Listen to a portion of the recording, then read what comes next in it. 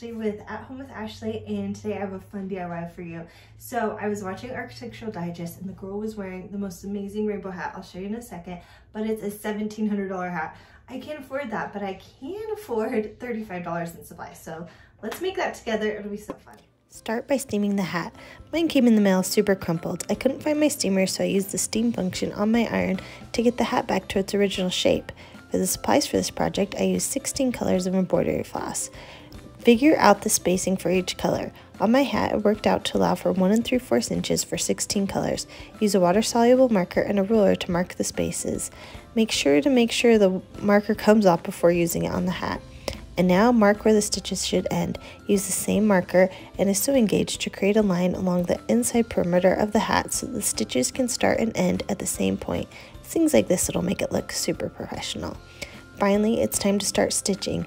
Cut a strand of embroidery thread. I like to find the loose end at the top of the package and pull it gently so that the packaging stays on. This prevents the floss from becoming one big knot. I pulled five arm lengths of string and that was usually enough for one color.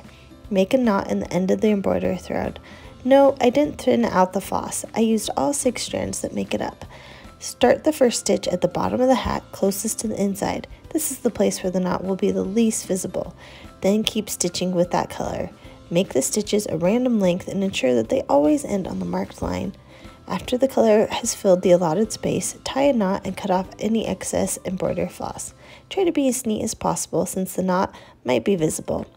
Note each color took me about 15 minutes to stitch. This meant that the whole hat took about 4 hours. I did mine in 2 days, but it could definitely be enjoyed over a longer period, especially since my fingers hurt from pushing so hard through the felt over and over. This is a slow project. To clean up, use a damp rag to mark, get off any of the blue marker. And here's how the hat turned off. I love it. I want to show you the bottom too. You can see the knots, but when it's on, I don't think it's that obvious. The hat is happy, and for being a rainbow, it's subtle and sweet.